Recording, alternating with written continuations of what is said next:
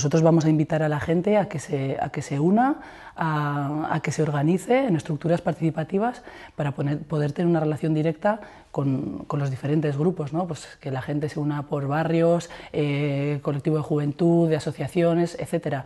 Y de esa manera pueden ser, puedan ser partícipes y responsables de las cosas que pasan en Estella. Para nosotros esto es un punto fundamental.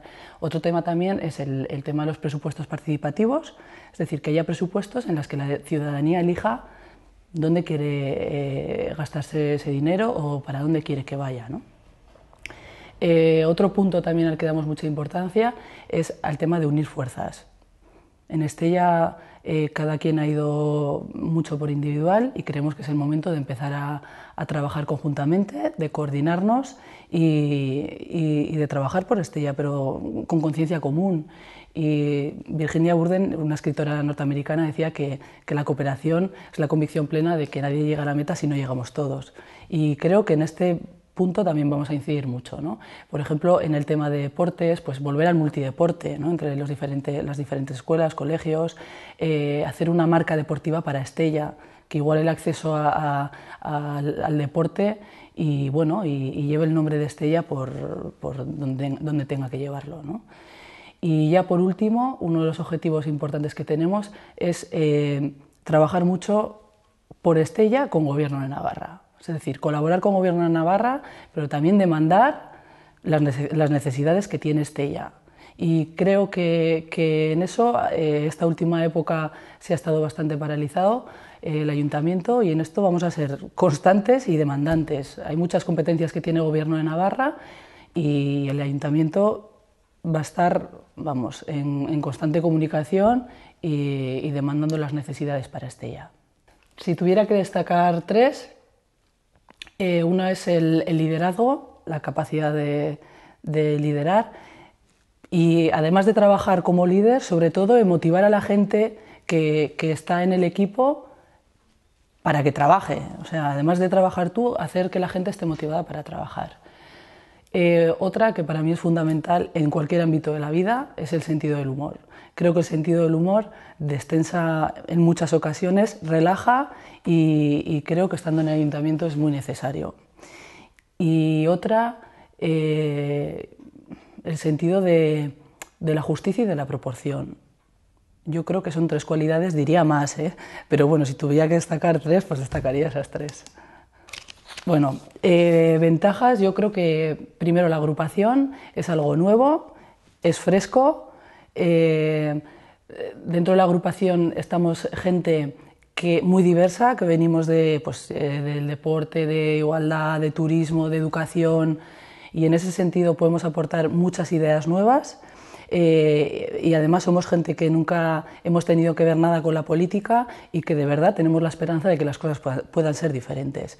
Y en ese sentido también apoyados por, y apoyadas por gente que tiene experiencia y, sabe cómo funciona el ayuntamiento. Y yo creo que eso es un punto de valor.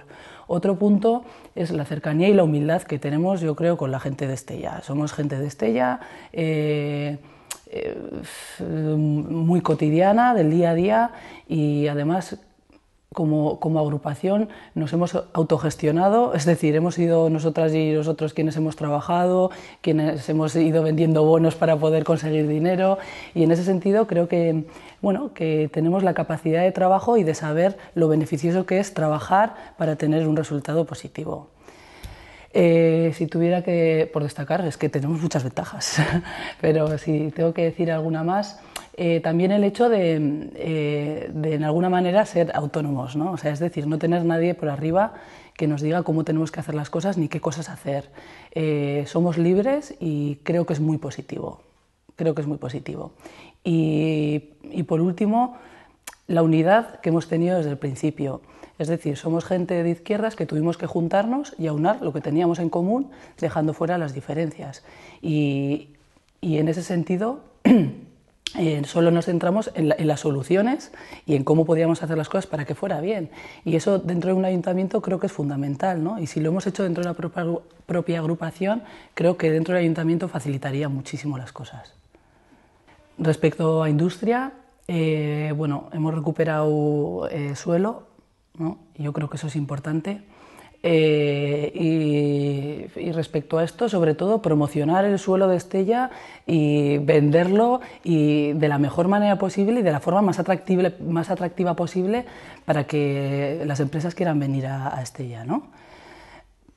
Eh, otro punto importante dentro también hay que destacar que aparte de la industria, eh, Estella desde que se fundó prácticamente es una ciudad de comercio y eso no hay que perderlo. Hay que fomentar el comercio, hay que fomentar que las calles estén llenas, hay que fomentar pues eso, la apertura de, negocios ¿no? también para la gente joven y, eso yo creo que hay que potenciarlo muchísimo y hay que apoyarlo.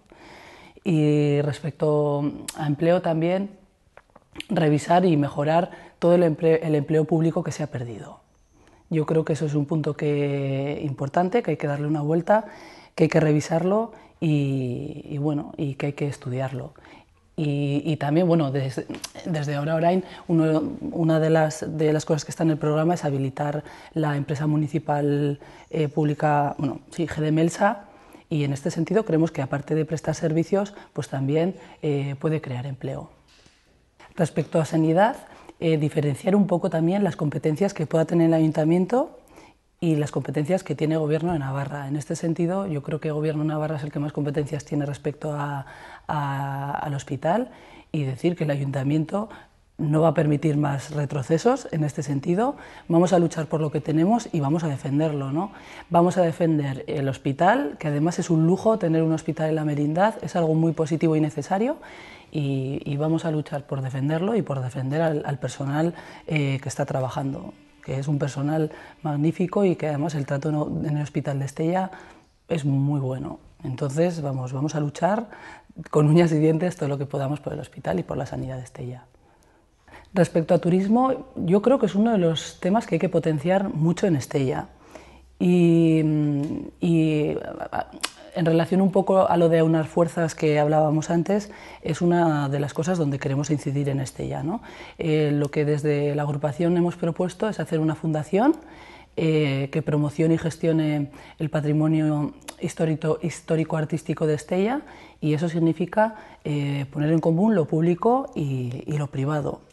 y aunar fuerzas en ese sentido, que haya un recorrido turístico por Estella, Mm, que, todos los edificios sean accesibles a la misma hora, etcétera, ¿no? Y creemos que esto es algo que puede ser, bueno, sabemos que puede ser muy positivo. Eh, luego, eh, también, por ejemplo, el tema de los monumentos, de poner el código QR, ¿no? que son pequeñas leyendas en las que tú, a cualquier hora, accediendo a eso, puedas tener información sobre el edificio, sobre el monumento, eh, etcétera. Y si hay que destacar también algo en el turismo de Estella, es el tema del Camino de Santiago.